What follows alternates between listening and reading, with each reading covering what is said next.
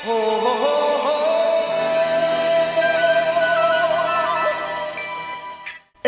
was kung fu เอาละครับ สวัสดีครับผม กินง่ายอยู่ง่ายกับนายแทนนะครับ วันนี้นะครับเป็นเมนูตามคำขอครับ ตามคำขอของคุณป้าสมศรีสวยปานนะครับ พอดีท่านขอว่าให้ทำแกงคั่วขนุนอ่อนให้ดูหน่อยนะครับ แล้วก็ตรงใจกับเมนูที่ผมอยากกินเลยครับ วันนี้จะชวนทุกคนมาทำเมนู แกงคั่วกระดูกหมูอ่อน ใส่ขนุนอ่อนครับ เป็นเมนูบ้านๆนะครับ เป็นแกงคั่วแกงเผ็ดบ้านเรานี่นะครับ เอาไว้กินกับข้าวสวยหรือว่าข้าวปุ้นก็ได้ครับ แต่วันนี้ผมจะกินกับข้าวปุ้นนะฮะ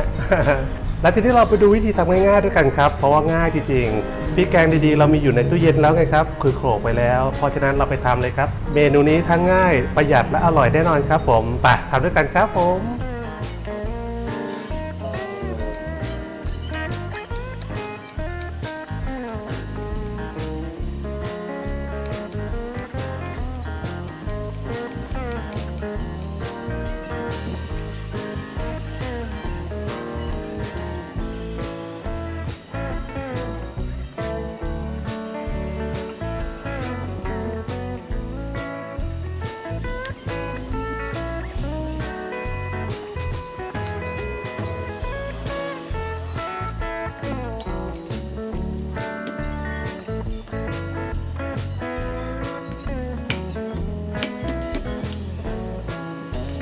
เอาละครับผมเมื่อเตรียมของทุกอย่างเสร็จแล้ว ทีนี้เราก็มาทำการแกงนะครับ เริ่มต้นจากการผัดพริกแกงนะครับ ผมใส่น้ำมันเป็นตัวช่วยไปนิดนึงนะครับ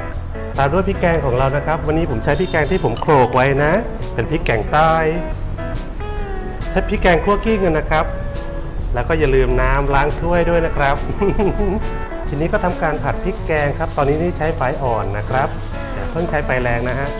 ผัดตรงนี้ให้สุกหอมกลุ่นเลย ผัดไปเรื่อยๆ พร้อมกับการเติมกะทินะครับ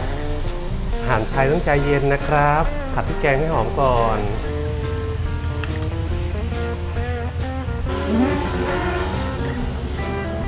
เอาละพริกแกงของเราเริ่มสุกฟูและส่งกลิ่นหอมนะครับ ผัดไปใจเย็นๆนะครับ ตอนนี้ก็ลงกระดูกหมูแก้วของเราได้เลยครับผมใช้ส่วนของกระดูกหมูที่เป็นใบพายนะครับ ใครจะใช้กระดูกอ่อนก็ได้นะครับ เอาละพอหมูของเราเริ่มตึงๆ สุกๆแล้วนะครับ นี่ก็เติมกะทิได้เลยครับ จัดไป วันนี้ใช้กะทิ 500 กรัมนะครับ 500 กรัมหรือว่า 500ซีซีครับมิลลิลิตรนะครับผมนี่ผัดต่อไป ใส่ตามไปได้เลยก็คือน้ำล้างถ้วยนะจ๊ะแล้วที่นี้เราก็ตามด้วยขนุนอ่อนของเรานะครับผมจัดไปแกงคั่วขนุนอ่อน หรือแกงเผ็ดดีเนี่ย ถ้าตอนนี้นะครับ ปริมาณน้ำแห้งไปเนะครับ เติมน้ำได้นะจ๊ะทีนี้ก็รอให้เดือดครับ เดี๋ยวเรามาปรุงรสกันนะครับผม เอาละครับ เมื่อเราเคี่ยวนะครับ กระดูกหมูกับขนุนอ่อนของเรานะครับ 40 นาทีแล้วเนี่ย ทีนี้เรามาดูกันพอเราจะได้ปรุงรสสักที โอ้โห หั่นชิ้นเท่าฝาบ้าน ทีนี้ก็ถึงขั้นตอนการปรุงรสนะครับ แต่ก่อนอื่นก็ต้องซิมเบิงจักหน่อยว่าจะเป็นจังไหน อืมพริกแกงได้พริกแกงเข้มข้นมาก แกงคั่วหรือแกงเผ็ดแบบนี้นะครับ ก็ต้องตัดหวานนิดนึงนะครับด้วยน้ำตาลปี๊บด้วยน้ำตาลมะพร้าวนะครับหนึ่งช้อน ความเค็มนะครับจากน้ำปลานะครับ ใช้น้ำปลาดีๆหน่อยนะจ๊ะสองช้อนนะครับแล้วทีนี้เราก็รอน้ำตาลปี๊บของเราละลายครับแล้วก็เราจะได้มาชิมเบิงอีกสักรอบว่าจะเป็นจังไดและตอนนี้เราก็ใส่ลงไปได้เลยครับ กับใบมะกรูดที่เราฉีกไว้นะครับ พร้อมกับพริกที่เราซอยนะจ๊ะเพื่อความหอม เอาละทีนี้น้ำตาลของเราละลายแน่นอนครับผมชิมเบิงอีกครับ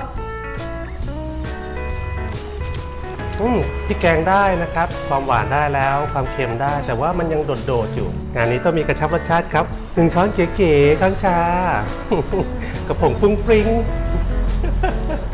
ผงปรุงรสครับ อันนี้ใครไม่กินก็ไม่ต้องใส่กันนะครับผมเอาละเมื่อทุกอย่างเดือดได้ที่นะครับ ชิมเบิงอีกครับอืม มีความกลมกล่อมแล้วพอจบท้ายด้วยใบโหระพาครับหอมๆนะจ๊ะเมนูนี้กินกับข้าวก็ได้ข้าวปุ้นก็ดีครับโอ้โหข้าวใส่นี่หอมมากจริง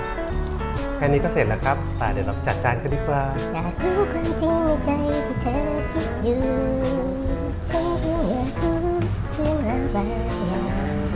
ปล่อยกันดูได้หลักหลักควาเข้าใจแต่ตรงไหนขอเพีย วันนั้นที่เจอกันรักเกินใจทนเกิจุดประกายแต่วันนี้เมื่อเธอสับสนไม่ไว้ใจก็เปลี่ยนเป็นคนละคนเสร็จเรียบร้อยแล้วครับไปหลับกินแกงคั่ว กระดูกหมูอ่อน ใส่ขนุนอ่อนด้วยกันครับผมอ่าละครับ เสร็จแล้วครับผม กับเมนูง่ายๆ ที่ใครๆก็ทำได้นะครับ เมนูบ้านๆ แกงคั่วขนุนใส่กระดูกหมูอ่อนนะครับ ขนุนก็เป็นขนุนอ่อนนะ แล้วก็กินกับข้าวปุ้นนะครับ วันนี้ มีแกงขนุนร้อนๆแล้วนะครับ กินกับข้าวปุ้น แล้วก็มีผักนิดหน่อยฮะ อยู่ในตู้เย็นเทียบเลย แล้วก็ที่สำคัญก็คือกุ้งเหยียดนะครับ เมนูแสนอร่อยของเราอืมขอบพวบขอบพวบกินขนมจีนด้วยกันนะครับ ข้าวปุ้นข้าวปุ้น หรือไม่ก็เรียกขนมเส้นก็ได้แล้วแต่นะฮะความถนัดต้องราดช่ำๆนะครับแหมหอมมากจริงๆนึกอยากกินเมนูนี้นะครับ แล้วก็มีคุณป้าท่านหนึ่งนะครับเขาขอให้ทำให้ดูหน่อย จัดไป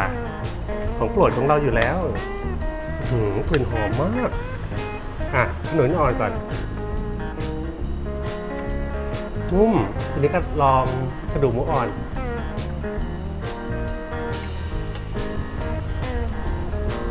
กรุบกรับกรับ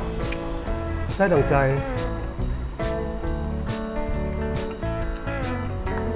หอมมาก อะ จัดเลยครับ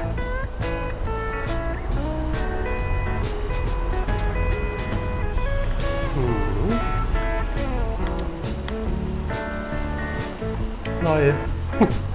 พี่แกงถึงเครื่องมากครับผม โอ้โห หอมกรุ่นน่ะเมนูนี้นะครับ ถ้าเกิดใครชอบเนื้อสัตว์อะไรก็ใช้ได้นะครับ เป็นเนื้อเอยเป็นไก่บ้านเอยได้นะครับ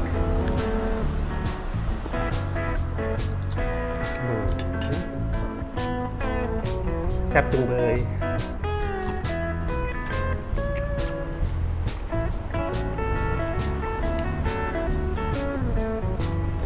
โอ้โหนุ่มตั้งใจ ตอนทำเมนูนี้ครับเราใช้ขนมดิบได้เลยนะครับ ไม่ต้องไปต้มก่อนนะครับ ไม่เหมือนทำแบบซุปบักมี่อะไรอย่างเงี้ยต้องเอาขนุนไปต้มก่อนใช่ไหม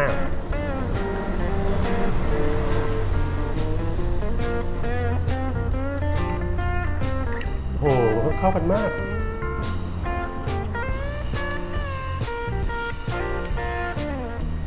โอ้ไม่ผิดหวังเข้ากันมากจริง ๆ ถ้าหากบ้านใครมีขนุนอ่อนอยู่หลังบ้านนะครับ อย่าพลาดเชียวครับผมอร่อย ขนุนอ่อนนี่ทำได้หลายเมนูนะครับจะแกงทางเหนือ หรือว่าจะแกงทางภาคอีสานหรือว่าแกงกะทิก็ได้ครับผม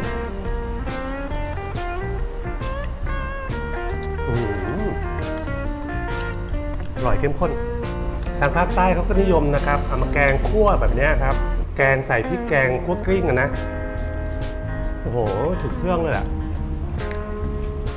จะกินกับข้าวสวย หรือว่าจะกินกับข้าวปุ้นก็จัดเลยครับ ได้หมดถ้าสดชื่น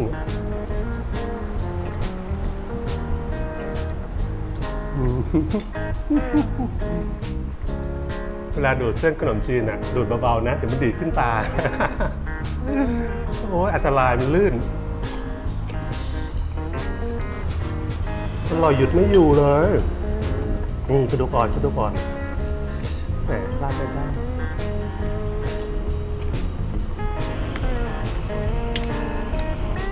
จับต่อไม่รอแล้วนะ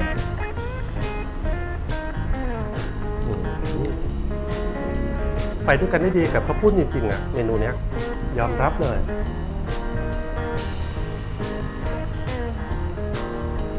นี่กระดูกหมูนุ่มๆเผื่อแป๊บเดียวหมดแล้วฮะ ต้องต่อต้องต่อ ของอร่อยแบบนี้ต้องต่อหน่อย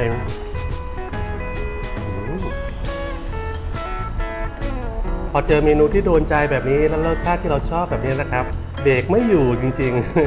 ๆ มีความเข้มข้นครับ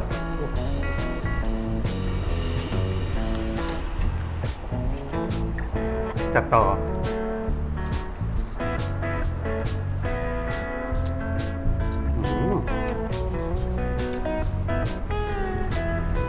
อร่อยได้ดังใจมาก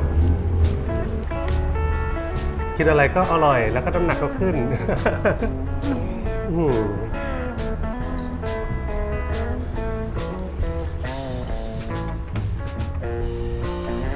เอาละครับผมเดี๋ยวมันจะนานไปนะครับ กินง่ายอยู่ง่ายกับในแทนนะครับ แกงเผ็ดหรือว่าแกงคั่วเนี่ยครับอาจจะมีวิธีทำที่ใกล้เคียงกันนะครับ ก็คงเหมือนเหมือนๆกันแหละ แต่ถ้าเกิดเป็นแกงคั่วก็อาจจะใส่ใบชะพูนะครับ วันนี้ขอใช้เป็นคำว่าแกงเผ็ดละกัน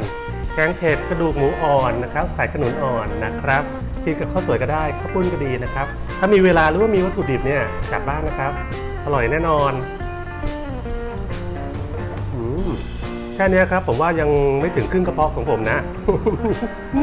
แต่เดี๋ยวมันจะนานไปนะครับ วันนี้นายแทนต้องขอตัวโม่ต่อนะครับ เดี๋ยวเจอกันใหม่เมนูหน้ากับนายแทนนะครับ วันนี้ขอตัวก่อนนะครับ สวัสดีครับอร่อยจริงเชื่อดิไม่โม้เลย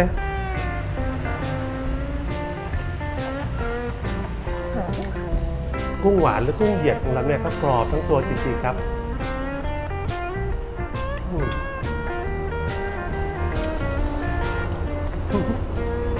อร่อยอะถามเจดูก่อนอย่าโกรธอย่าเคืองว่าจีบมากไป